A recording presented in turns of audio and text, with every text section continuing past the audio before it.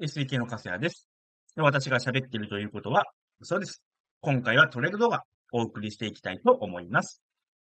えぜひですね、この動画がいい、少しでも参考になったなと思っていただけた方はですね、チャンネル登録、グッドボタンいただけましたら幸いです。よろしくお願いいたします。ということでですね、今日のトレード動画、まあぜひ見ていただきたいのは、エントリーの待ち方ですね。チャンスが来そうな銘柄の待ち方。ここにぜひ注目していただけると、ご参考になるんじゃないのかなと思います。えー、と、動画の途中で、あと10分後ぐらいにチャンスが来そうだなっていう話をしています。じゃあなんでそう思ったのか。で、その10分間の動き方、待ち方、こんなところをですね、見ていただくと、あの、非常に今後ご参考になるんじゃないのかなと思いますので、えー、ぜひそこに注目していただければと思います。また、現在 SEK では、遠藤健二のデイトレ注目銘柄、無料で配信してます。チャンネルの概要欄ですかね。概要欄飛んでいただきますと、メールアドレス登録するだけで、翌日のデイトレ注目銘柄、無料で受け取ることができますので、まだ受け取ってませんよという方はですね、えー、ぜひ受け取っていただければと思います。トレード動画ご覧ください。はい、SEK のカスヤです。えっ、ー、と、本日はですね、8月の1日、木曜日ということで、まあ、8月も始まってきたということですが、今ですね、えー、2時前、えー、時計出てますけど、これですね、2時前ですね。狙ってるのが6857アドバンテストの売りですね、売り。これをちょっと狙っていきたいなというような形で見てます。まあ何が根拠かというとですね、まあギャップアップした銘柄ですね。ギャップアップして、え、ただですね、この銘柄、めちゃくちゃ強いのかというと、まあ当然強い流れではあるんですが、上値も重い。上値も重いということで、手仕舞いとか、まあ、いわゆる戻り待ち売りとかに押されて、えー、午後崩れてもおかしくないというところですね。で、その崩れが出てくれば狙っていきたいし、でも出なかったら狙わなくていいしっていう、まあそんな感じでですね、今見ています。で、じゃあどこを具体的に狙っていくのかというと、今この水準ですよね。えっと、まあ100円じゃないや、50円か。えっと、50円。6850円から6900円。まあ、この50円の幅で動いてるわけですけれども、まあ、えっと、揉み合ってるわけですが、その50円のボラティリティだと、えっ、ー、とですね、まだトレンド出ないと思うんですね。なので、この揉み合いが半分ぐらいになってきて、まあエントリーポイントを作ってきたら、まあそこで入っていこうかなというふうに見てます。まあなのでこれ今表示してるのは3分足ですけれども、最終的なエントリーポイントはまあ1分足。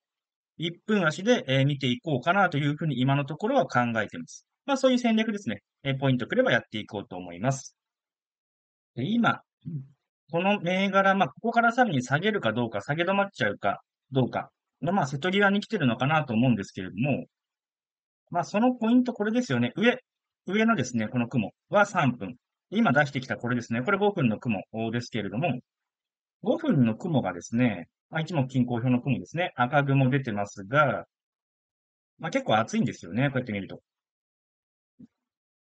で、ここまで厚い雲だと、まあ、ちょっと支えられる可能性の方が高いのかなとは思ってます。思ってますが、雲入りするぐらいの下落、まあ、ちょっと早めに調整してくれれば、雲入りする、ちょもうちょっとアップにしましょうか。雲入りするぐらいの、ここからここですよね、ゾーンと。雲入りする。そうすると、まあ、値幅としては、まあ、そこそこあるかなというところなので、その下落が来てくれば面白い。なので、あとどうでしょうかね。えー、今2時過ぎ、2時1分ですが、2時10分前後ですかね。2時10分前後ぐらいに、まあ、うまくいけばチャンスが来るかなと。で、その時間帯でチャンス来なかったら、まあ今日ないのかな、なんていうふうに見てます。まあそこをですね、ちょっと楽しみに待とうかな、なんていうのが今の戦略かなというところです。で、今戻ってきましたね。なので、この辺ですよね。この辺で止まってほしいんですよ、戻りが。うん。こういう感じですね。こうしてこう、みたいな。で、その間に移動平均線こう。で、抑えられて落ちていく。まあ、そのポイント作ってくれれば一番いいかな。なので、これ以上ですね、戻りが強くなる。この先ほどの6900円ぐらいまでの戻りになったら、まあ、ちょっとないかなっていうふうには見てます。ないかなというのは、エントリーチャンス作らないかなっていうことですね。えそんなイメージで見てます。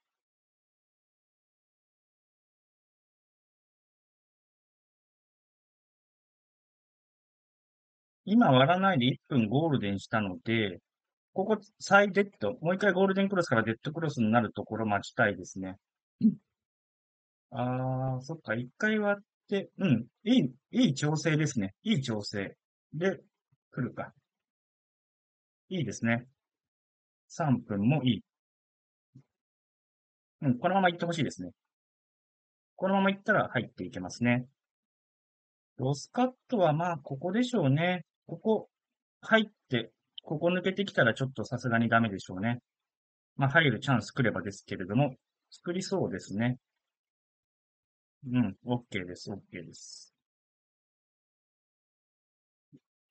で、エントリーして、したので、こっから先ですよね。こっから先どこまで伸びるかですけれども、えー、っとですね、まあ、とりあえずここですね。ここ抜けたらロスカット。これマストですね。もう、どうに何があってもここ抜けたら逃げる。で、あとは、伸びた時にどこまで含み益伸ばせるかですが、まあ、先ほどの通りですね、5分の雲、タッチまでかなとは思います。見ても。なので、手仕舞いかからず5分の雲、これですよね。手仕舞いかからず5分の雲にタッチ、いくらでしょうかね。6690円ぐらいですか。先にそこに来たら、まあ、ここで手仕舞い、え、しちゃうと思いますし、え、来なければ、来ないで、まあ、手仕舞いルール通り、まあ、手仕舞いポイントに来たら、まあ、それで終わりかなっていう、まあ、どっちが先に来てもどっちでもいいやぐらいな感じですね、今のところ。まあ、なので、戦略としては、この直近の揉み合いから、えー、下抜けしていくところ、で、その下抜けするときにちゃんとボラが半分ぐらいになってくれる。まあ、ちょうどこの青い線ですよね。えー、しっかり効いてくれてるので、まあ、やっぱりこういう時は強いですよね。で、3分の雲も抜けてくる。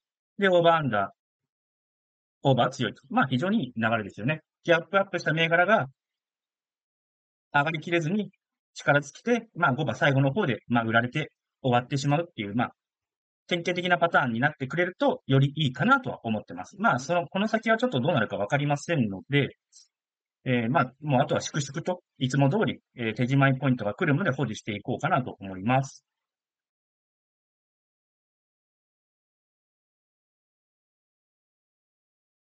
はい、えー、今ですね、結構強く戻ってきちゃいましたね。戻ってきて、で逆差しここに入れてたんですね。手仕舞いの逆差し、ここに入れてましたので、えー、手仕舞いになりました。ということで、10ピックですかね。結果。まあ、いいんじゃないですか っていう感じですね。まあ、もっと値幅欲しかったですけれどもね。あの、伸びるときは伸びますし、伸びないときはこんな感じです。あの、まあ、ちょっと伸びて、戻ってきちゃって手仕舞いと。で、手仕舞いにこれならなければ、そのまま伸びていくっていうケースなので、まあ、今回は伸びずに、大きくは伸びずに、えまあ、自分の設定したルールのところで手仕舞いになったという形ですが、まあ、思惑通り、思惑通りですね。まあ、2時、どうでしょう、10分手前ぐらいから、あの、動いてくれて、下げてきてくれて、まあ、と、えー、取ることはできたと。まあ、ロスカットにもならず、ちゃんと利益になって終われたというところで、まあまあいいかなという感じですね。でも今2時15分ですし、また先ほどの5分のこの雲ですね、5分の厚い雲に近づいてきちゃったので、まあ今日はもうこの銘柄いいかなっていう感じですね。えー、もっとそこ、本当はですね、バーンと伸びてくれることをちょっとね、あの、最後の下げ、強い下げがポンと出てくれれば、ここからですね、バンバンバンみたいな、こういう感じで、もっと伸びてくれればいいなとは思ってたんですが、ちょっと戻りが早かったですね。まあ残念ということではありますが、こんなもんです。こんなもんです、本当に。あの、これを同じことを繰り返していると伸びる時もあれば、今回みたいにすぐ戻ってきちゃう時もある。だけれども、やることは同じっていうことが非常に重要。同じことを繰り返していると、同じ根拠で同じことを繰り返していれば、伸びるときはしっかり伸びると。毎回毎回根拠変えて、今回はこういうトレード、こういうふうに動くんじゃないか、こうじゃないかみたいなことをいろいろ考えてやると、本当に再現性もなくなってきますし、まあ、利益も伸ばしにくくなっちゃうと。ということがありますので、ぜひですね、あの、その辺ご参考にしていただければいいのかなと思います。ということで、えこの今日のトレード動画は以上で終了とさせていただきます。ではご視聴ありがとうございました。失礼いたします。